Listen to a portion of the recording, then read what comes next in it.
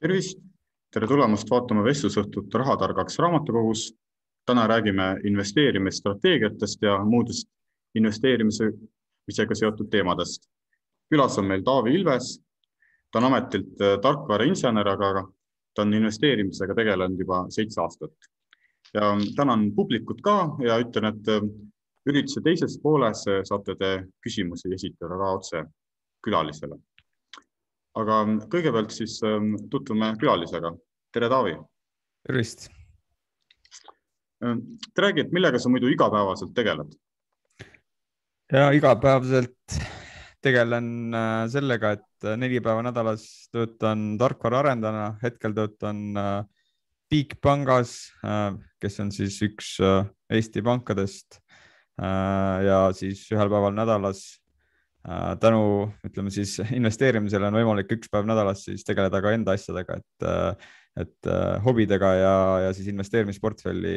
haldamisega mm. -hmm. kas sul on see palju räägitud eh, finantsvabadus saavutatud või, või kuidas sul sellega on?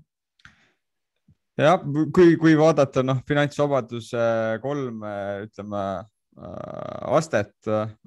mille Jaak Roosaare on siis nagu välja toonud, on ju, et esimene aste on see, et sul äh, passiivne sissetulek äh, peaks ära katma, ütleme siis esmakulutused. teine, teine tase oleks see, et sul äh, passiivne sissetulek katab ära ütleme siis tavalise elustiili ja kolmas sammas või tase oleks see siis, et, et see passiivne sissetulek on kaks korda nii palju, kui on sinu ütleme siis igapäevakulutused, et ma ise olen seal teise taseme peal, et kolmandat ei ole veel saavutanud, aga, aga olen teise peal jah, väga kena. Ehm, räägime siis natukene ehm, sinu investeerimisest veel, et ehm, millisesse varaklassidesse sa investeerid? Äh, peaaegu on kõik läbi käinud, aga ütleme hetkel, kuna see on ka strateegia on täna teemaks läinud, siis äh, hetkel minu strateegia on, äh, on selline, et ütleme, kolmkümmend protsenti portfellist on aktsiates Äh, või indeksfondides, mis, mis äh, oma, omakorda siis ka on nagu ütleme, sisaldavad aktsiaid, siis kolmkümmend protsenti on laenud, äh, võlakirjad. kui seda natuke lahti seletada, siis et laenude all on siis pigem ühisrahastusportaalid, oma raha, Mintos Eestis populaarsed, mille osakaal on küll suhteliselt väike täna juba Äh, siis teine pool on laenud, äh, kas siis äh, otse ette, ettevõtetele või siis läbi börsi mingitele ettevõtetele, mida ma nimetan siis võlakirjadeks. maailma, maailma mõistes on need pigem siuksed ütleme junk bonds ehk siis rämpsvõlakirjad, et mille intress on nagu kõrge ja risk on ka kõrge. ja siis ülejäänud kolmkümmend protsenti on ütleme siis iduettevõtted või siis natukene Äh, su suuremad kasvuettevõtted, mis otseselt ei ole noteeritud börsil, et täna on umbes sihuke kolmkümmend, kolmkümmend, kolmkümmend jaotus ja kümme protsenti on siis kas äh, rahas äh, või siis krüpto, krüptovarades, olenevalt kuust.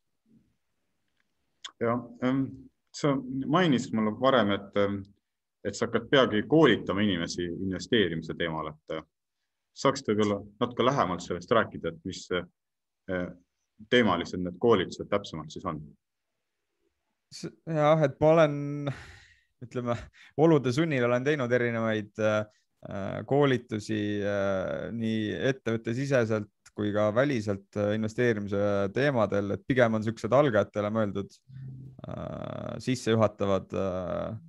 nagu ülevaadet, kuidas alustada investeerimist äh, Äh, samas ma olen ka, paljud inimesed on kirjutanud ja küsinud ise küsimusi erinevate teemade kohta, et äh, selle kaudu olen, olen nagu nii-öelda jaganud seda infot, et siis ma olengi mõelnud, et, et, et kui on nagu suuremat huvi,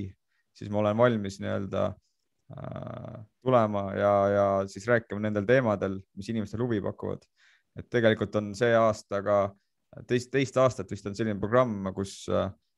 kooli äh, õpetajatele antakse edasi siis finantstarkust, et nemad saaksid omakorda anda enda õpilastele, et ma, et ma ka osalen selles äh, programmis,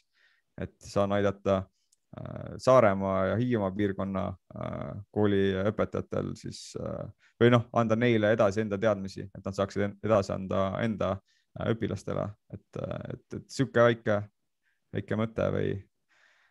tagasiandmine ühiskonnale ja et kui sina hakkasid investeerimisega peale, et kas sul oli ka enda mentor olemas? ei olnud, et pigem, pigem ma vaatasin äh, noh, tol hetkel ei olnud eriti aktiivne kogu see, ütleme, investeerimisteema Eestis, et äh, siis kui mina alustasin, oligi ainuke raamat, mis oli välja antud, oligi äh, Rikkaks saamise õpik Jaak Roosaare poolt onju, et äh, võib-olla tema oli mingil määral eeskuju ja,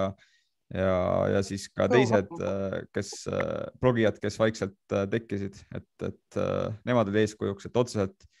mingit sihukest ühte inimest ma ei oskaks välja tuua, kes, kes tol hetkel oli, aga võib-olla täna, kui, kes kõige rohkem keda ma vaatan või kes mul eeskujuks on võib-olla Kristjan Liivamägi enda, enda ütleme süstemaatilisuse ja, ja, ja enda strateegiatega, et, et, et, et ei ole kohanud nagu teist investorit, kes on nagu äh, nii süstemaatiline enda tegemistes, et äh, tema on võib-olla täna Eestist kõige suurem eeskuju. ja ähm, Kristjan Liivamäel on see, et tema on hästi tugev selles tehnilises äh, analüüsis, et, et räägid, kas sina ka nagu hindad sellist väga kõrgelt sellist aktsiate tehnilist analüüsi? sellist, ütleme, noh, see on nagu põhimõtteliselt mat matemaatiline siis tegevus. Selles mõttes, et see on väga oluline äh, minu, ütleme üldse nagu nende strateegiate juures, kus, kus sa investeerid üksikaktsiatesse, et see on kindlasti väga oluline. ise ma seda teha väga hästi ei oska äh,. pigem ütleme USA ettevõtete puhul sellepärast ma olengi pigem, ütleme, investeerin äh, fond äh,, indeksfondidesse, kus, kus siis ei pea tegema seda analüüsi äh, ja üksikaktsiaid pigem olen valinud äh, Eesti või siis Balti börsilt, äh, kus, kus need, need ettevõtted on mulle lähemal, kus ma nagu ütleme siis äh, kõhu, jutumärkides kõhutunde põhjal nagu investeerin et, et et, et see on ka jah, üks, üks põhjus, et miks ma nagu välja, väljaspoolt neid üksikaktsiaid ei vali, et, et see, ütleme, see analüüs on suhteliselt keeruline ja sa pead äh, seda tegema süstemaatiliselt, et äh, läbi vaatama võib-olla sada ettevõtet, et leida näiteks kümme tükki, kuhu sa tahaks investeerida. et see on väga suur töö tegelikult. Räägime siis äh, täpsemalt strateegiatest ka, et kui sa alustasid investeerimist, et kas kas sul oligi niimoodi, et sa panid enne nagu äh, strateegia paika ja siis hakkasid tegutsema või see kujunes sul tegevuse käigus välja? ja pigem, pigem kujunes tegevuse käigus välja, et kui ma alustasin, siis äh, tegelikult al algajal nagu ei olnudki väga suurt äh, suurt valikuvõimalust, et kuhu investeerida nagu väikeste summadega, et tol hetkel olidki esimesed kohad, kuhu sai nagu väikse summaga panna, olidki ütleme ühisrahastusportaalid, kus sa said nagu laenu välja anda, et, mul põhimõtteliselt ei olnudki nagu valikut äh, mingit suuremat strateegiat nagu äh, koostada. Äh, ütleme, see strateegia olulisus ja defineerimine enda jaoks on pigem tulnud aja jooksul, et ma arvan, et ma kindlasti kolm-neli aastat äh, investeerisin lihtsalt nii, nagu ma ise tundsin. ja alles hiljem on tekkinud nagu ütleme, siuksed põhimõtted, mida saab nimetada strateegiaks mm. -hmm. aga kui sa hakkad nüüd näiteks, kui sa teisi siis äh, vähem kogenumaid inimesi nõustada, et, et kui tähtsaks sa nagu, sa nagu nende puhul pead, et nad paneksid enne paika siis midagi konkreetset või sa, või sa arvad, et võib, võib toimida ka see, et mis, mis sina tegid nagu samamoodi alustada? no ütleme, et kui sa alustad täiesti äh, ütleme nullist on ju, et sul ei ole mingit väga suurt summat, siis, äh, siis põhimõtteliselt äh, aitab ka see jah, et sa alustad äh, lihtsalt kuskilt pihta, kuna sul ei ole tegelikult äh, palju variante, on ju, et kuhu, kuhu selle, ütleme, väiksema summaga investeerida ja siis ajapikku sa, sul tekivad kogemused, sa uurid juurde, siis sul tekib nagu see strateegia, aga kui sa, ütleme, kui sul on võimalus, kui sul on suuremad summad, siis kindlasti tasub kõigepealt võtta aega ja siis paika panna nagu need Äh, ütleme, eesmärk, miks sa seda teed. teise, teine samm on, et kui suur on su riskitaluvus. Äh, ja kolmas samm on see, kui pikalt sa tahad investeerida, et siis vastavalt sellele äh, sul tekib, ütleme, valik erinevatest võimalustest või strateegiatest, mida sa saaksid kasutada. et, et puhtalt niimoodi ma kindlasti ei soovita, et sa lähed, võtad, võtad oma raha ja näiteks paned ühte, ühte ettevõttesse, näiteks Balti, Balti turul on ju, et see et mis see strateegia siin on, on ju, et, et see on lihtsalt, ütleme noh, esimene katsetamine okei okay,, aga kui sa lihtsalt suvaliselt paned, sul ei ole mingit hüpoteesi, miks sa sinna paned, on ju, et see pikas perspektiivis võib nagu tuuagi selle õppetunni, on ju, et, et hea on, kui sellest õpitakse, nagu ei õpita, on ju, ja pigem võib-olla tekib sellest hirm, et, et näed, aktsiaturul võib raha kaotada ja ei tahagi enam investeerida, on ju, et, et siin peab nagu äh, selles suhtes nagu ettevaatlik olema. jah, palju on räägitud meelerahufondist, et äh, mis sa arvad, et kui, kui suur peaks olema selline meelerahufond, et kui sa hakkad nagu tõsisemalt investeerima? Äh, no ütleme, klassikud või, või teised inimesed ütlevad, et see võiks olla kuskil kolm kuni kuus kuud sinu ütleme kuludest, et, et, et, et, et, et ma ise, ise nagu endal täna enam nagu otseselt ei hoia mingit meelerahufondi, aga ütleme, see alateadlikult äh,, alateadlikult nagu sa tahad, et sul oleks nagu mingi tagavara kogu aeg, et äh, A selle jaoks, et sa saad, et sul ongi nagu mingid kulutused, mis võivad tekkida äh, juhuslikult äh, või siis sul tekivad mingid investeerimisvõimalused, on ju, et kus sul on vaja nagu likviidset äh, kapitali. Vahest on nii, et see, sul ei ole võimalik nagu kiiresti äh, või siis heades, heas, ütleme äh, olukorras nagu olemasolevad investeeringud realiseerida, et siis on hea, kui sul on nagu mingi tagavara olemas, et kas see on siis ütleme hädajuhtum või, või see on investeering on ju, et, et see on igal juhul on see, on see nagu kasulik äh, seda meelerahufondi omada, et ja teine asi on see, et, et, et võib-olla alustaja puhul on hea ka see, et kui see on sul olemas, siis sa võib-olla julged äh, nagu natukene kergemini nagu seda investeeringu otsust teha, on ju, et, et sa tead, et kui, et kui midagi selle investeeringu juhtub, on ju, et siis sa ikkagi äh, et sul ei jää nagu elu seisma, et sul on nagu ütleme, riskid on nagu maandatud sellega. jah mm., räägime siis sellistest peamistest äh, investeerimisstrateegiatest ka, et mis sa arvad näiteks, mis on sellised kolm põhilist äh, sellist investeerimisstrateegiat, mida selline investeerimisega äh, tegelema hakkav inimene peab teadma? jah, ütleme kõige või no üks populaarsemaid või kõige lihtsamaid ongi, äh, on siis ütleme rahavoo äh, strateegia, kus siis no investeeritakse kas siis kindla, kindla või fikseeritud ütleme tulususega instrumentidesse, näiteks laenud, võlakirjad, hoiused. Siia võib isegi tuua üüri, üüri nagu kinnisvara või üürikorterid või siis ütleme aktsial, aktsiaturul on niisugused asjad nagu reit Äh, mis, mis on siis fondid, mis omavad ka nagu üürikinnisvara, kes maksavad niisugust stabiilset äh, äh, dividendi. Eestis võib-olla siis äh, Eften, kes on küll ärikinnisvara äh, ja Baltic Horizon on ju, et, et see on niisugune äh, üks, üks suund, kus on hästi palju äh, ütleme toetajaid, et äh, tihti, tihti, tihti kasutatakse seda strateegiat ka ütleme vanemas eas, kui pensioniiga on lähemal, on ju, et siis sellise strateegia puhul see, ütleme, see oodatav rahavoog on suhteliselt stabiilne, sa saad sellest katta nagu enda, ütleme, jooksvaid kulusid. et, et see on nagu üks hästi populaarne strateegia. siis järgmine, mis on sarnane sellele, on siis dividendi äh, aktsiate või siis dividendi kasvu strateegia, kus siis investeeritakse aktsiatesse, mis äh, maksavad äh, dividendi äh, tihti võetakse selliseid aktsiaid, mille dividendi ajalugu on pikk, ütleme USA turul siin kolmkümmend kuni viiskümmend aastat on dividendi makstud. Ja siis omakorda ütleme selle alam, alam nagu sihuke liik on dividendi kasvu strateegia, kus siis vaadatakse siukseid ettevõtteid ka, kes, kes nagu ütleme ajas kasvatavad dividendi, mitte ainult ei maksa sihuke stabiilset, et stabiilseid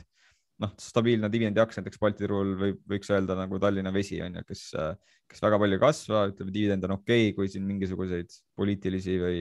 või mingisuguseid muid nagu riske ei realiseeru, on ju, et äh, on niisugune stabiilne. ja dividendi kasvu aktsiaid, noh, ütleme Balti turul väga palju äh, ei oska nagu nimetada, aga USA turul on, on neid kõvasti ja mujal ka. ja, ja kui inimene ei taha, äh, ütleme neid ise otsida, siis on olemas niisugused äh, ETF-id ehk siis fondid, mis ise valivad siis äh, selliseid äh, aktsiaid, äh, kes maksavad niimoodi dividendi, et dividendi aristokraadid on näiteks üks, üks populaarne fond, kuhu investeeritakse. ja siis võib-olla niisugune veel populaarsem on siis väärtusinvesteerimine, mida ka näiteks Warren Buffett on ise kasutab ja on reklaaminud. ehk siis eesmärk on see, et sa otsid selliseid ettevõtteid, mis turul on alahinnatud ehk siis mille hind, mille õiglane hind peaks olema suurem, kui hetkel turg seda arvab, et siin ongi oluline see, ütleme siis fundamentaalanalüüs, mida me varem ka mainisime, et Äh, tuleb, tuleks teha siis analüüs, vaadata ala, leida need alahinnatud ettevõtted, äh, teha,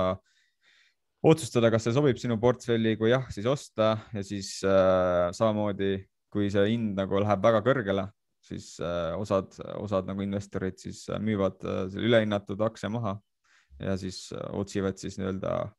asemele kas uuesti seda ala, uusi alahinnatud ettevõtteid või siis ostavad selle ettevõtte tagasi, kui see hind on uuesti langenud.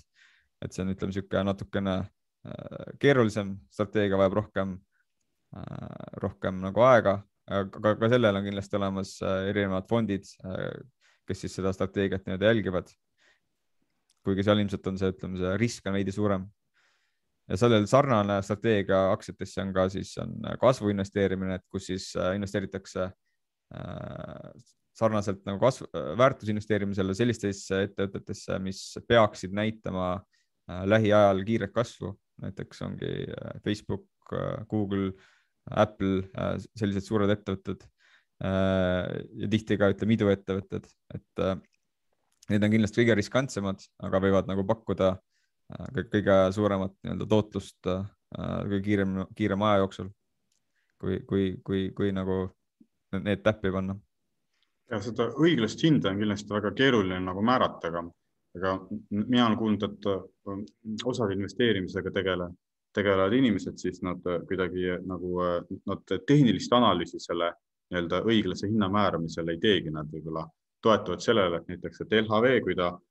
laieneb Ühendkuningriikidesse, et siis see. õiguspäraseid korraldusi.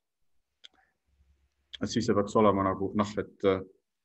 et siis selle õiglane hind on ju tegelikult kõrgemad, kui ta praegu on näiteks. et mida sa sellisest võib-olla analüüsimeetodist arvad? no ütleme, kuidas seda õiglast hinda tegelikult leitakse, on see, et võetakse nagu ettevõtte äh, ütleme, varasemad tulemused, äh, äh, võetakse ka analüütikute hinnangud nagu tuleviku osas, ka ettevõtte enda nagu kasvuootused ja siis Äh, põhimõtteliselt diskonteeritakse need tulevikku, on ju, et vaadatakse, kui palju, ütleme, seal on hästi, seal on päris palju nagu seda äh, ennustamist sees, on ju, et see kõik oleneb, kes seda, ütleme, analüüsi teeb, on ju, et äh, viis erinevat fondi, fondijuhti või analüütikut võivad teha nagu täiesti erineva tulemuse. et, et seal on nagu niisugust personaalset äh, hinnangut päris palju sees, et aga, aga põhimõtteliselt jah, sa paned paika mingid eeldused ja siis selle põhjal leiad leiad mingi hinna, ähm, kui palju see ütleme, aktsia võiks täna olla väärt ja tihti isegi tehakse nagu ütleme, kolm-neli erinevat meetodit kasutatakse ja siis võetakse nende meetodite keskmine, et siis pannakse paika, kas keskmine hind või mingi vahemik, mis võiks siis selle nii-öelda ettevõtte nagu õiglane väärtus olla. Ja tihti veel äh, pannakse juurde veel mingi puhver, kas siis ma ei tea, kümme, kümme, viisteist protsenti või kakskümmend protsenti sellest äh, hinnast, et võiks veel allpool olla, et siis on nagu sihuke Äh, ütleme noh, puhver sellele, et, et sa oled nagu seda väärtust valesti hinnanud, et, et, et isegi, isegi kui sa valesti oled hinnanud, siis sul on noh, variant ikkagi äh, kasumit nagu pikemas äh, perspektiivis saada, et, et pigem, pigem tehakse seda niimoodi. Ja, ja sellepärast nagu ma ütlesingi, et see on suhteliselt ajamahukas ja keerukas on ju, et üks variant on osta Äh, ütleme andmeid, äh, teiste analüütikute hinnanguid ja siis sealt leida nagu need nii-öelda kasvuootused, et, et siukseid, siukseid portaale on päris palju, kus seda infot saab osta, aga enamasti see ongi jah, tasuline, et alates äh, kümnest kuni saja dollarini kuus on nagu, on selle, sellele infole ligipääs maksab mm. -hmm. kas sa oled ka kasutanud sellist, sellist nagu teenust ja, ja, ja näiteks kui siis, et kas Eestis ka näiteks, et Eesti siis haldurite poolt? Jah, et ma ise nagu ütleme välismaal olen mingit äh, tasuta, tasuta nagu prooviperioode uurinud, aga, aga ma olengi leidnud, et, et kokkuvõttes see on nagu strateegia võtab nii palju aega, et ma ei ole seda nagu, seda teed läinud, et hakanud nagu neid ettevõtteid ise otsima, et pigem olengi läinud sinna indeks, indeksfondidesse, ütleme välisturu osas, aga, aga Eestis jah, ma ise jälgin pidevalt LHV analüüse ja siis on äh, üks, üks, üks oli veel mingi Evel Light või äh, mis seda nimi oli, et nemad teevad ka tasuta äh, analüüse siis ettevõtete kohta ja nad toovad siis välja, mis on nende kasvuootus, nende õiglase hinna vahemikku. et siis see, see võiks olla ka nagu ütleme al, alustele võib-olla guidance äh, või, või sihtmärk selles osas, et mida nagu analüütikud näevad, onju, aga siin tasub silmas pidada seda, et analüütik ei ole ka nagu jumal et tema, tema ei näe ka täpselt ette, onju, mis tulevik toob, et tasub võtta nagu siukse ka võib-olla mingi puhvriga seda, seda, seda nagu oodatud hinda onju.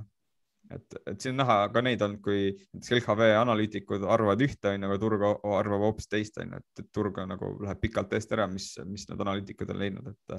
et see ei pruugi nagu tähendada äh, nagu päris, päris olukorda. jah ähm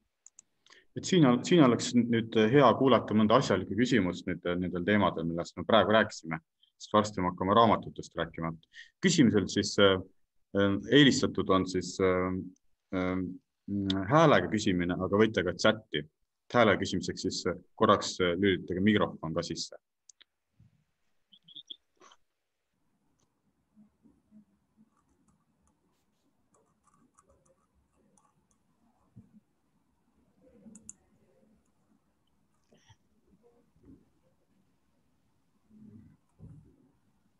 tere, mina võin esitada ühe küsimuse või isegi mitu. ja palun. Äh, küsiks kõigepealt, et äh, kui kaua sul, Taavi, võttis aega äh, sellest, et sa investeerima hakkasid, kuni sa jõudsid selle teise taseme finantsvabaduseni uh,? Cool. kui ma mõtlen nüüd, et uh, umbes uh, kuus aastat ma pakun. okei okay., pole paha ja teine küsimus oleks, et äh, kas sa numbritest ka räägid või sa numbrid jätad parema meelega enda teada, et kui suur su portfell praegu umbes on mm,? midagi võin rääkida, et ma mingitel üritustel olen maininud seda, aga ütleme, kuna mu portfellis on kolmkümmend protsenti on ka siuksed iduettevõtted või ettevõtted, mis ei ole börsil olnud, siis äh, nende hindamine on niisugune, ütleme subjektiivne veidi, et need on hinnatud, kas siis äh, a la Funderbeami turuhinna järgi või siis mingi tehingu järgi, mis selle, mis on nagu toimunud nende aktsiatega või nende, ütleme, osakutega, aga hetkel ütleme, on portfell umbes väärt pool miljonit eurot. Mhm. okei, okei, praeguseks vist kõik, annan mõnele teisele ka sõna, kui keegi julgeb veel küsida. tänan, tänan, Anneli, siin tuli üks äh, huvitav küsimus ka Karmeni poolt, et selle, selle võiks ka mm -hmm ära vastata, et LHV avaldas tänapäev prognoosid Balti aktsiatele. mida arvad ostu-müügi soovitustest? täna ma ei ole neid tänaseid äh,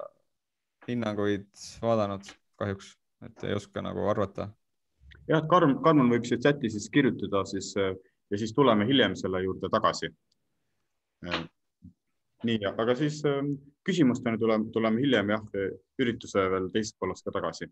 aga siis äh, räägime mm, raamatutest siis ka. nüüd me räägime natuke laiemalt äh, mhm. investeerimisest ka, sest, sest, sest noh, sul on väga suur kogemus, sa oskad kindlasti oma nagu nägemust äh, esitada.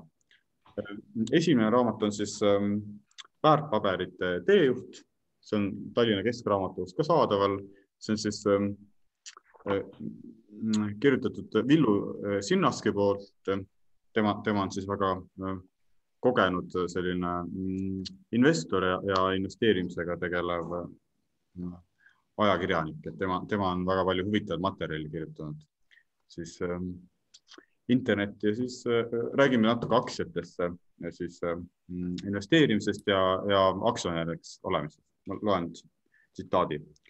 aktsionär ei vastuta isiklikult äh, aktsiaseltsi kohustuste eest, küll aga riski võimalusega kaotada kogu oma raha, mis on aktsiaseltsi paigutatud. rahuldatakse ju pankroti korral aktsionäride nõuded kõige viimases järjekorras.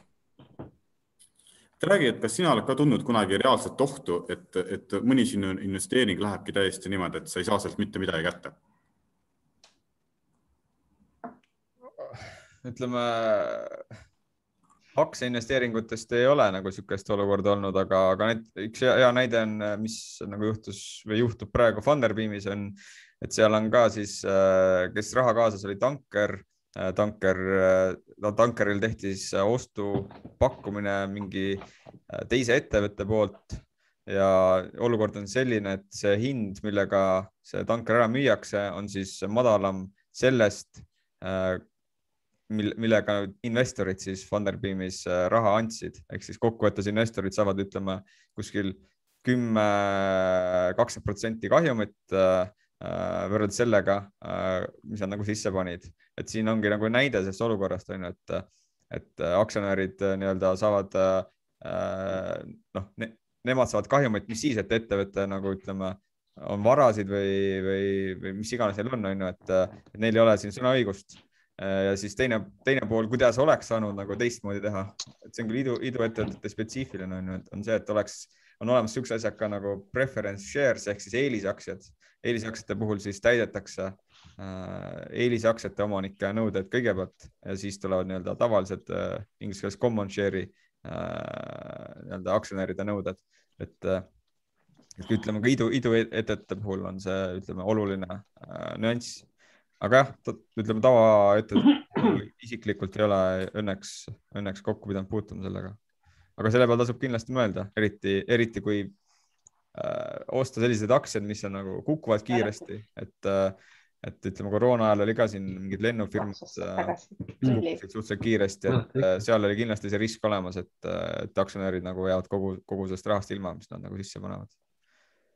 jah, ma omalt poolt ütleks, ütleks niimoodi, et, et hajutamine aitab, just, aitab siin nagu väga-väga palju, et tuleb ikkagi nagu hajutada võib-olla erinevate valdkondade vahel, näiteks, et kui ongi nagu siis mingis valdkonnas kriis nagu, nagu praegu näiteks noh, seoses koroonaga on ju, on ju see taastumine olnud ikkagi ju väga-väga suur, välja arvatud turismisektori pealt, et siis, siis ongi, et, et, et jah, hajutamine sihuke nagu see on juba, juba nagu psühholoogiliselt juba tegelikult aitab. Sest... kui hajutamist laiendada, on ju, et siis, siis on mõistlik veel hajutada, ütleme siis äh, sektorite vahel on mõistlik hajutada, sektorisiseselt isegi nagu ette, ettevõtete vahel, et, et isegi samas ütleme näiteks finantssektoris, et sul on näiteks mitu erinevat äh, kas panka või, või, või mingit muud äh, ettevõtet ja, ja siis kui portfell on piisavalt suur, siis on tegelikult mõistlik isegi hajutada geograafiliselt, et, et näiteks a la kui midagi juhtub Euroopas või midagi juhtub USA-s või midagi juhtub Eestis on ju, et siis sul on ikkagi ütleme muudes geograafilistes piirkondades see risk võib-olla ei ole realiseerunud, on ju, et kas see on poliitiline või, või,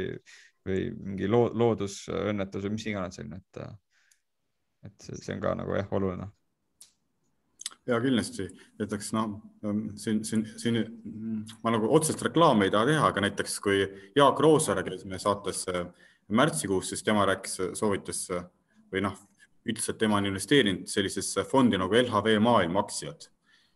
et see on küll selline väga nagu laiapõhjaline ja see on nagu noh, noh, et, et, et kriis ju tihtipeale, isegi kui on nagu näiteks pandeemia, siis ega ta ei taba ju äh, igat maailmamägu täpselt samamoodi, nii et selles suhtes on küll väga, väga, väga hea nagu. nii, aga siis äh, räägime siis teisest äh, raamatust ka. see on selline huvitav, mina nägin seda esimest korda LHV raamatukogus, aga see on ka Tallinna Keskraamatukogus täiesti olemas, see on pangasaladus äh, ähm, see, see räägib siis äh, panga asutamisest, aga see on sellised üldised nagu põhimõtted ka, et mina, minu arust see on päris hea selline investeerimisfilosoofiline Äh, raamat ja mm, Eero Epner on siis äh,. loen ühe tsitaadi ähm,. Läks aastaid, kui pank sai laenudest esimese kahjumi. laene anti lihtsalt nii uskumatu täpsusega välja. see pole nii lihtne, kui võib-olla tundub, sest kuidas sa lõpuks ikkagi otsustad, kes laenutaotlejatest tulevikus kõrbeb ja kes läheb äh, kindlal sammul edasi ma valisin selle tsitaadi sellepärast, et, et ma olen kuulnud, sa tegeled ühisrahastusega ka. siis ühisrahastusse mm, investeerimise ja see on selline, no mina näiteks pean seda nagu natukene küll riskantseks nagu laenuäriks. et, et võib-olla sellepärast, et mina mina olen noh, puutunud kokku selliste inimestega, kes pidevalt küsivad minult nagu võlgu ja nad ei ole kõige usaldusväärsemad ja nad tõenäoliselt ei saa pangast laenu siis äh, erinevatel põhjustel mm.. räägiks natuke sellest, et, et, ähm, et sinu ja sellise, sinu ja ühisrahastuse suhtest. jah äh, no, et sinu näide on õige, onju, et, et kui ma alustasin, ma alustasin ka Bondoras. Bondoras on täna niisugune olukord, kus äh, paljud investorid, kes sinna raha investeerisid, täna siis on väljunud kas väikse kahjumiga, on jäänud nulli või on saanud nagu marginaalse kasumi. et täpselt sama olukord ongi see, et alguses, kui sa raha juurde paned, siis sul igakuiselt intressid nagu tulevad, aga see hetk, kui sa jätad enam raha nagu juurde ei pane, siis vaikselt-vaikselt ütleme, need laenud hakkavad minema pankroti ajas, et, et lõpuks, lõpuks ongi niisugune olukord, kus äh, need laenud, mis intressi maksavad, ei kata enam ära neid laene, mis lähevad pankrotti ja siis sul, ütleme, portfell lähebki miinusesse. et, et see on jah, võib tõesti juhtuda, aga ütleme siis täna, äh, mis on veel populaarsed, on oma raha, onju, et oma rahas on siis selline äh, mehhanism, mis aitab selle vastu kaitsta, neil on niisugune asi nagu tagatisfond, et iga kord, kui laen välja antakse, pannakse mingi osa sellest äh, rahast tagatisfondi ja kui laen läheb äh, nii-öelda hapuks, äh, siis see laen müüakse inkassofirmale. inkassofirma maksab mingi osa sellest laenust, tavaliselt see on kindlasti kuskil, ma ei tea, puusalt pakun mingi kolmkümmend, nelikümmend protsenti põhiosast, võib-olla isegi vähem, oleneb perioodist Äh, ja siis sealt tagatisfondist makstakse ka siis mingi osa tagasi, ehk siis äh, täna, täna vist on see kuuskümmend protsenti, ehk siis kui laen läheb pankrotti, sa saad kuuskümmend protsenti tagasi. et see on nagu üks, üks mehhanism, mis vähendab äh, nii-öelda seda siis äh, kaotusi äh, laenuinvestorite äh, jaoks siis. ja teine oluline koht ongi see hajutamine, et äh,, et kui sul äh, inimesed on inimesi, kes ei maksa ära, neid on alati, äh, siis äh, lihtsalt need, kes maksavad, peavad ära katma siis äh, need kahjumid, mis tekivad nendelt inimestelt, kes ei maksa ära. ja seetõttu peab siis see intress olema ka piisavalt suur, et, et see nii-öelda krediidirisk on nagu ära kaetud ja mis oma rahas nagu on oluline, ongi see, et see intress, millega sa raha välja annad, et see peaks olema piisavalt suur. et näiteks täna äh, pärast seda, kui pensionisambad läksid äh, nagu vabaks ja inimesed võtsid raha välja, siis päris paljud inimesed on oma pensionid tagasi, tähendab pensionirahast on siis oma võlad tagasi maksnud ja on näha, et, et, et investoritel on äh, vaba raha oma rahas ja siis ütleme, see intressimäär, millega sa saad laenu anda, on läinud alla, kuna raha pakkumine on suurem. ehk siis täna mina näiteks ei anna seal laene välja, kuna, kuna see intress, mis ma saan, ei ole minu arust piisavalt kõrge, et seda nii-öelda riski äh, maandada äh, nendest punastest laenudest. et, et, et, et, et jah, tasub seda silmas pidada, et mis intressiga sa välja annad, et see peab olema tasakaalus selle riskiga. ja siis kolmas portaal, mis on populaarne ka täna, on siis Mintos on ju, et Mintoses on põhimõtteliselt sa võtad siis ettevõtte riski, et siis üksik laen ei,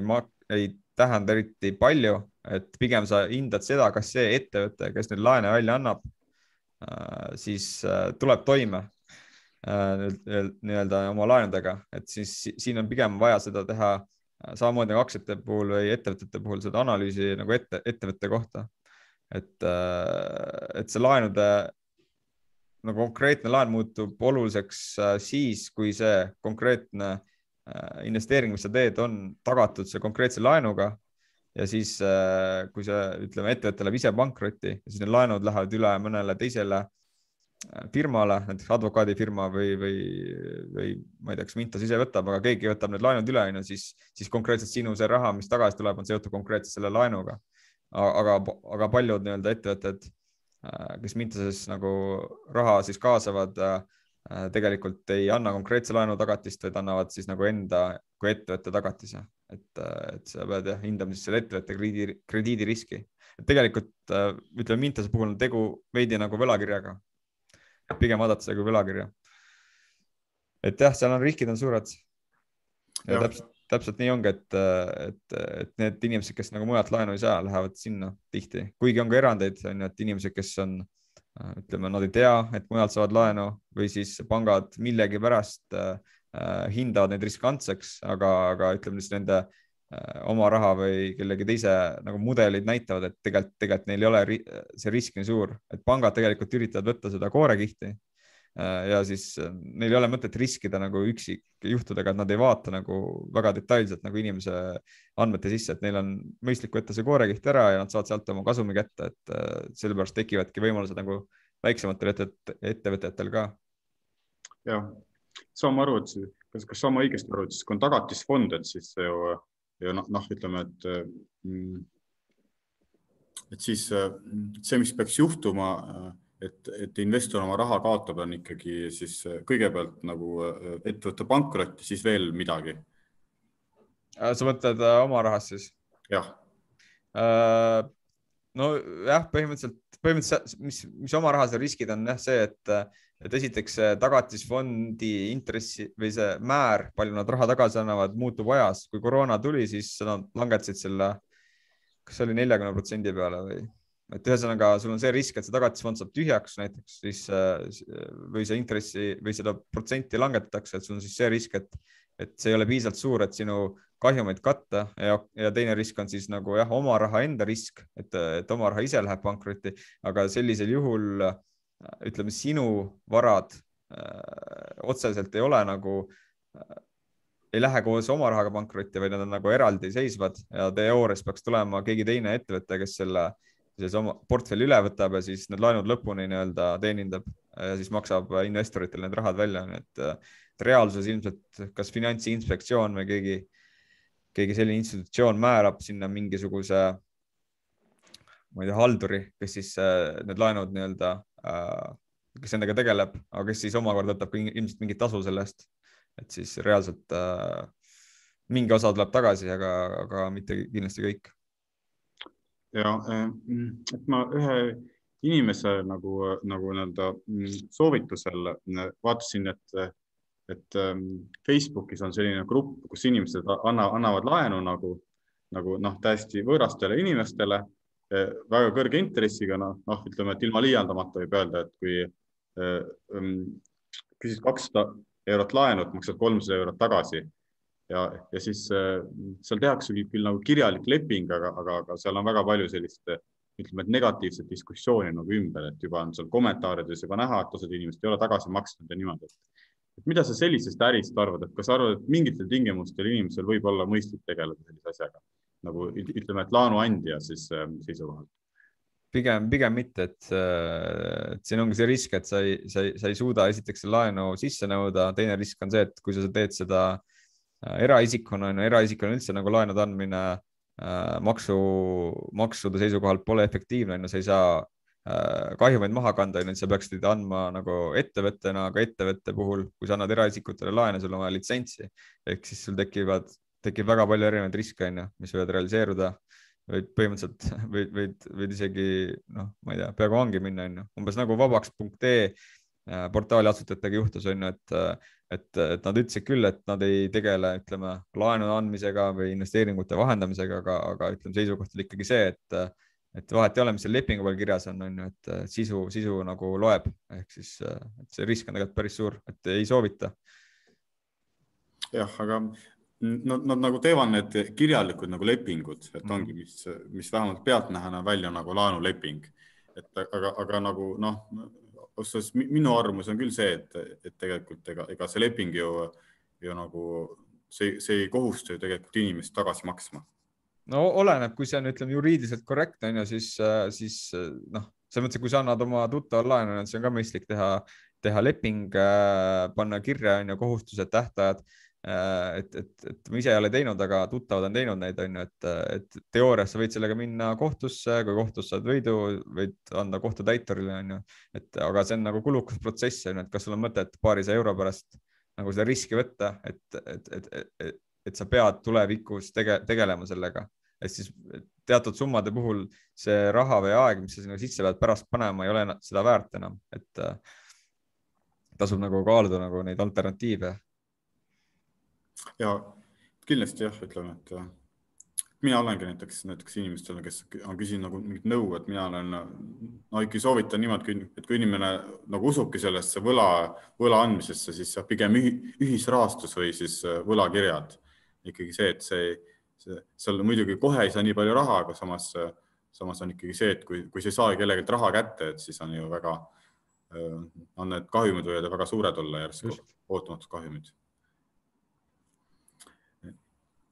Nii, aga siis mm, lähemegi siis ürituse viimase osani, et mm, küsimuste juurde siis. et mm,, et jah, et soovid, soovitavad on siis mikrofoniga äh, küsimised, aga, aga võite ka kirjutada chati.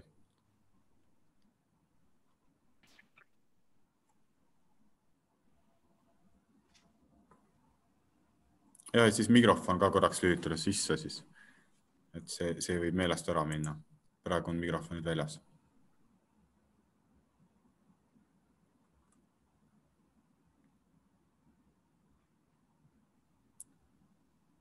et üks selline küsimus on jah tulnud, et, et, et me rääkisime enne nagu nendest mm, äh, portaalidest, kes, kes annavad mm, ostu, ostu ja müügisoovitusi siis tasuta, et üks oli LHV ja teine oli veel üks selline portaal, et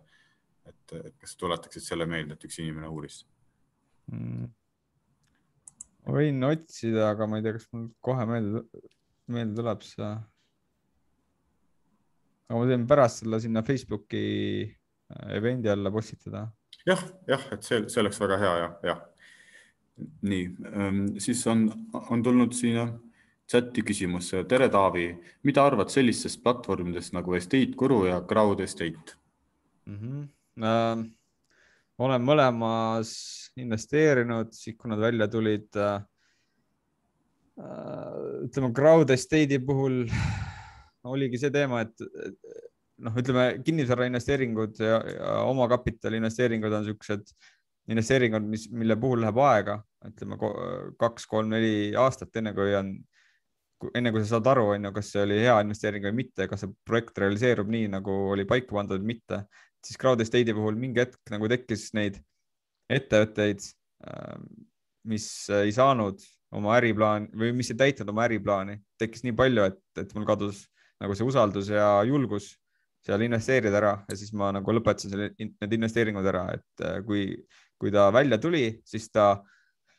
siis ütleme, need esimesed projektid olid küll väga edukad ja, ja tundus niisugune väga-väga hea äh, viis, kuidas nagu ütleme, kinnisvaraarenduse riski portfelli võtta ja sealt siis nii-öelda kasumit saada. aga estate guru puhul ma arvan, et see on, äh, on hea, hea koht, kui keegi tahab, ütleme nii, hüpoteegi tagat, hüpoteegi tagatisel nagu laenu anda, et äh, varasemalt seal oli päris palju siukseid väikseid tegijaid, aga, aga, aga hiljem on tulnud ka suuremaid tegijaid, on ju, kes sealt on raha kaasanud, et, et, et, et on jah, hea, hea variant. Äh, järeleturg on ka olemas, on ju, et ta on suhteliselt likviidne ilmselt, kui on vaja väljuda et, äh, et selle asemel, et anda otse näiteks äh, mõnele arendusettevõttele nagu laenu läbi võlakirja on ju, siis äh, crowd estate on kindlasti nagu hea koht, et aga, aga tasuks, tasuks ikkagi vaadata konkreetset arendajat, et mis selle rahaga tehakse ja kas see nagu ütleme, äriplaan on jätkusuutlik ja, ja kuidas see ütleme tagatise, tagatise nii-öelda määr on, et kas see on nagu realistlik hind või mitte, on ju, et, seal on ka nagu näited olnud, kus Äh, on laenu võetud ja,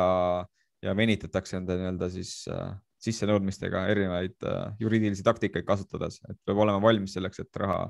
raha on kinni, aga tõenäoliselt mingi hetk siis, kui hüpoteek realiseeritakse, on võimalik see raha tagasi saada. ja et siin on selline isiklik küsimus ka, et vastama ei pea, võid mm, et mm, küsimus selline, kui palju sul, Taavi, oli algkapitali kuus aastat tagasi, et tänaseks sellise portfellini jõuda? täpselt kuut, kuue aasta tagust aega ei mäleta, aga kui ma alustasin, siis ma alustasin ikkagi äh, nullist, et äh, olin tudeng äh, kooli kõrvalt, ülikooli kõrvalt tegin vabakutselise tööd, ehitasin veebipoode, kodulehti, et sealt tekkis kapitali. ja siis hiljem olen, ütleme töö kõrvalt olen teinud ka freelance'i ehk siis ütleme, ta on, ütleme ettevõtlus mingil määral, et ilma selleta kindlasti ei oleks äh, ütleme, see portfelli ehitamine nii kiire ja lihtne olnud, et, et see peab paika, et äh, ainult säästmisega äh, on keeruline portfelli ehitada, on võimalik, aga keeruline. et soovitan siiski nagu ütleme, kas siis enda karjääri arendada, et saada suuremat töötasu või siis karjäär, kas siis tööl käimise kõrvalt või siis puhtalt nagu ettevõtlusele keskenduda, et kui võimalik. et see kindlasti on palju kiirem viis. Ja ähm, siis ähm,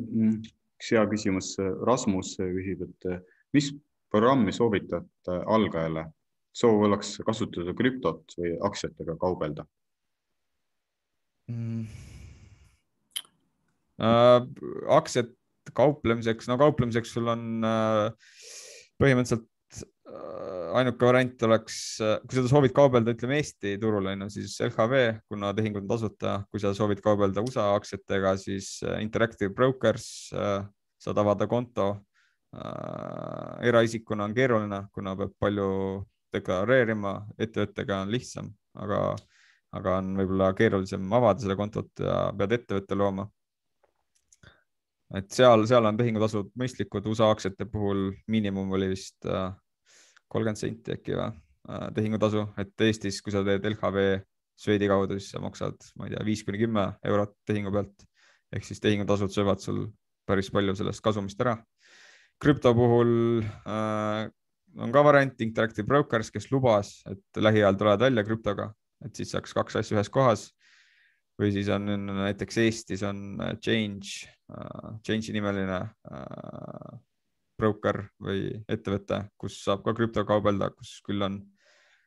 ka tehingutasud, aga see on suhteliselt sarnased, mis on, ütleme teistel äh, vahendajatel välismaal.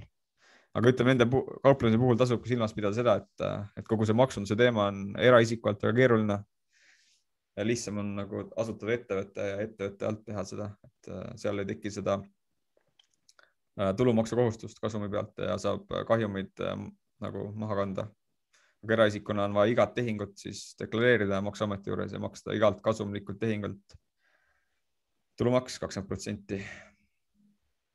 jah, ma kommenteerin juurde, et kahjum, et kui sa nagu kahjumiga müüd, et siis. siis ei pea siis ei pea jah, aga, aga, aga, no... aga igat tehingut tuleb vaadata, a la kui sa ostad, ma ei tea, Bitcoini on ju ja siis selle müüd on ju, et et kui sa näiteks müüd poole, ühe poolega saad kahjumit ja teise poolega saad kasumit on ju, siis pead ikkagi selle Äh, kasumi pealt maksma, teise tehingu kasumi pealt maksma tulumaksu, et sa ei saa seda eelmist kahjumiga tehingut enam maha arvestada, et sa pead igat tehingut vaatama eraldi. et see on suht keeruline, eriti kui on palju tehinguid. ja mm, siis äh, üks äh, Anneli küsib väga huvitavalt, et milliseid aktsiaid sa praegu USA turul ostad, et kui ostad ja miks? otseselt hetkel ei osta, hetkel pigem hoian, aga ma olen ostnud pigem äh, reite, mida ma enne mainisin, reidid on siis äh, ütleme ettevõtted, kes omavad äh, kinnisvara äh, ja saavad sellest kinnisvarast üüritulu, kas siis on korterid, ärikinnisvara, ostukeskused ja siis maksavad seda intressina või dividendina välja aktsionäridele. Ja miks ma neid olen valinud, on sellepärast, et kuna ma ise ei taha kinnisvaras investeerida otse üürikorteritega näiteks tegeleda, siis siis ma olen tahtnud nagu kinnisvara riski ikkagi võtta siis olen läbi nende reitide seda teinud. ja ähm,, et USA aktsiate puhul räägitakse hästi palju tehnoloogiatest, tehnoloogiaettevõtetest ja ravimifirmadest. et näiteks, mis sa mm, ravimifirmadest arvad praegu, et kas, kas, kas oleks võib-olla praegu nagu tasub neid uurida praegu või, või pigem oodata? ei oska hinnata, ei ole ise neid uurinud, et äh, jah, ei oska seda sektorit kommenteerida. kui, mis puutub, ütleme tehnoloogia ettevõtetesse, siis ma just äh, täna vaatasin, et kui ma oleksin algusest peale kogu raha investeerinud äh, NASDAQ siis indeksisse, kus on siis sada suurimat tehnoloogiaettevõtet, siis mu portfell oleks suurem kui täna. jah, jah jah, et siis ähm, Karmen küsib, et kas alustasid firmalt või eraisikuna, kui eraisikuna, siis millal üle kolisid? alustasin alguses eraisikuna, aga suhteliselt kiiresti, suhteliselt kiiresti sain aru, et, et on mõistlik nagu firma alt ikkagi teha uh,. firma mul tegelikult oli vist juba olemas ka tol hetkel, kuna ma tegin seda freelancer'i tööd läbi selle. aga mis ma tegin, oli see, et äh, eraisiku alt äh, investeeritud äh, aktsiad ma tegelikult hoidsin alles era, eraisiku all, nad on seal investeerimiskonto all siis, et, et ma sealt ei ole siis seda summat välja võtnud ja olen investeerinud Balti turule äh, aktsiatesse, kes siis maksavad dividendi, kuna äh, Balti aktsiate puhul on selline nüanss, et kui sa ettevõtte alt neid ostad, siis tegelikult on sul dividendi puhul topeltmaksustamine, et sa alguses peetakse dividendi pealt kakskümmend protsenti peab ettevõte ise kinni ja pärast, kui sa ise dividendi endale maksad, siis sa pead uuesti maksma kakskümmend protsenti, et äh, teiste riikide puhul sa saad selle nii-öelda mingis osas tasaarveldada, aga Balti, tähendab Eesti aktsiate puhul ei saa, et Läti-Leedu puhul vist sai isegi. et siis ma olen nagu need seal alles hoidnud. Et, et ja muidu, kui ma võtaks sealt eraisiku alt kõik välja, siis ma peaksin maksma ka tulumaksu on ju, sellelt summalt, mis investeerimiskontolt välja läheb.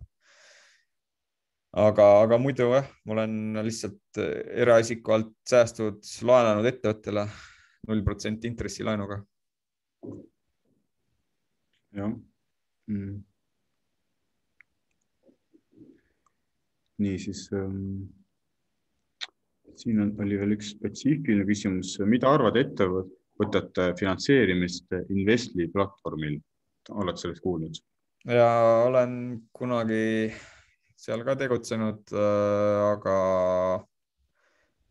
aga tundub, et nagu ettevõtte, Investli kui ettevõtte nagu ambitsioon äh, vist ei realiseerunud sellisel kujul, nagu nad lootsid. ja nii palju, kui ma olen näinud Facebooki gruppides, siis seal on ikkagi mingid ettevõtted, kes on siis läinud pankrotti äh, ja kuidagi mingite skeemidega nagu on, on nagu need arved ikkagi maksmata jäetud, kui, kuigi seal pidid, minu arust olid nagu mingid garantiid on ju, et see, kes arve äh, maksma peab, siis tema kuidagi, kuidagi on tagatud need arved, aga, aga reaalsuses äh, tundub, et need protsessid venivad, et ise, ise nagu sinna faktor, faktooringusse rohkem ei ole investeerinud, et võtsin need rahad või investeeringud välja, mis seal olid ja on jäänud sinna, sinna paika. et võib-olla on hea ja nüüd mõned minutid on veel aega, et äkki tahab keegi küsida siis häälega ka äh, vahepeal.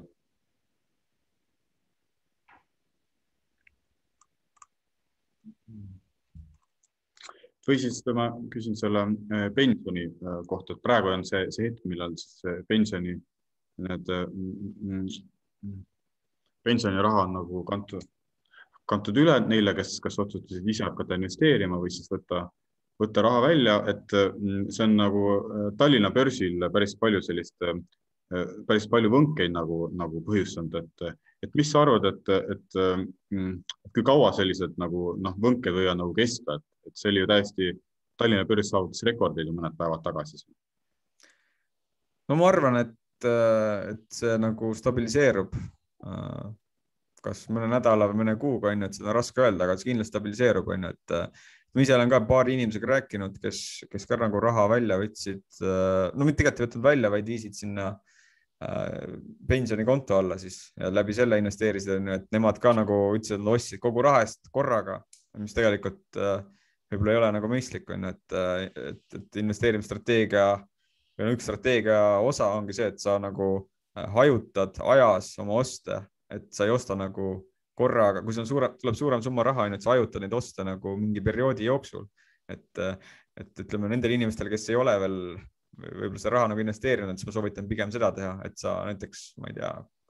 ühe kuu jooksul ostadki kas kümne või kahekümne protsendi eest kogu sellest vabast rahast,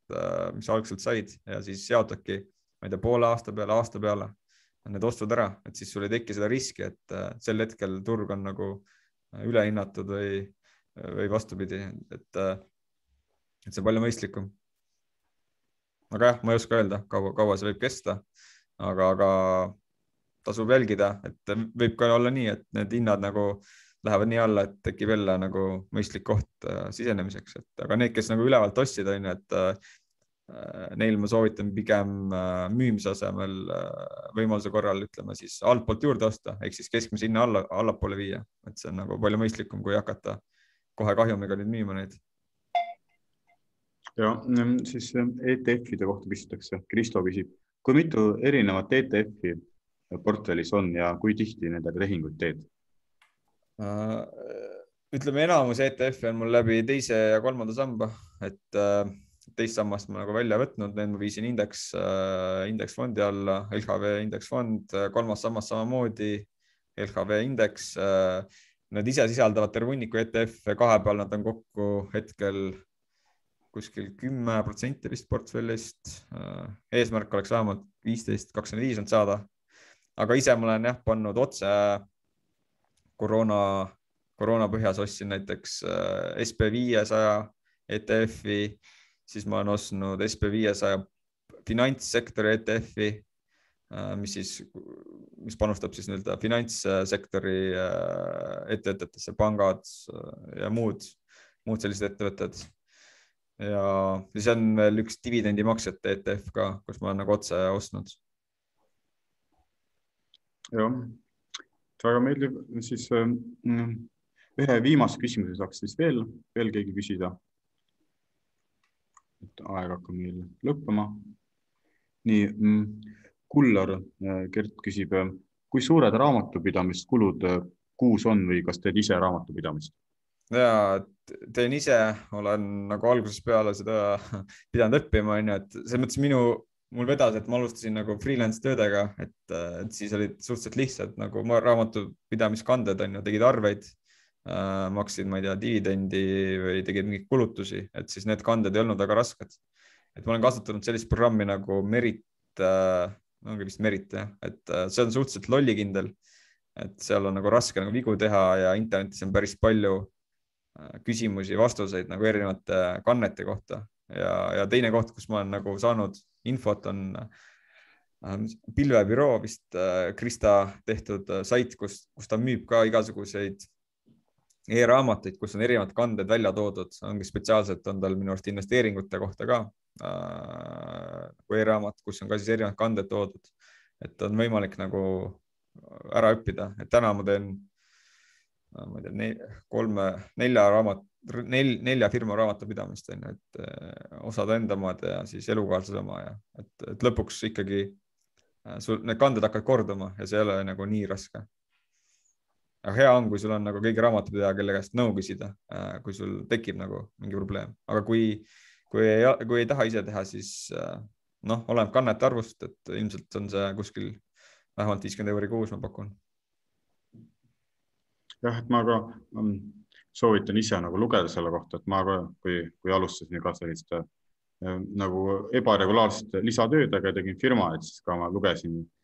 selle kohta nagu ise, sellepärast et, et eriti alguses, kui seda käivet on vähe, siis raamatupidamisteenused on suhteliselt kallid, kuigi teenuse, teenusepakkujat ei ole nagu äh, raske leida, aga, aga lihtsalt nad tahavad raha saada. just. jah, aga sellega siis äh, seoses hakkamegi lõpetama, ma kindlasti soovitan äh, Taavi Ilvest siis guugeldada, siis leiate tema blogi ja, ja, ja need, need koolitused, mida ta siis pakub ja hakkab, hakkab peatselt juurde pakkuma nagu, nagu ma saan aru, et täna, täna me kuulsime, et, et sa oled päris kogenud ja, ja, kindlasti sul on küll eh, inimestele, mida edasi anda. jah, et kui kellelgi on küsimusi, siis võib näiteks kas Facebookis või Instagramis või Discordis või kuskil ka küsida, et eh, vastan meeleldi. ja, jah,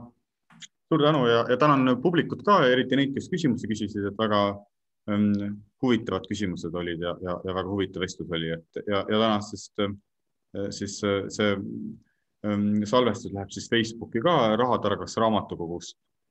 kogus alla, üles, kus on ka eelmised vestlused. aga teiega siis eh, kohtume eh, natuke rohkem kui kuu aja pärast, siis räägime investeerimispsühholoogiast eh, ühe, ühe Hiiumaa investoriga, kes peab blogi. aga tänan siis veel kord sind, Taavi ja, ja tänan ka publikut ja, ja loodan väga, et teile meeldis ja ja loodan teiega kohtuda siis peagi järgmistel üritustel. kõike head. aitäh kutsumast. palun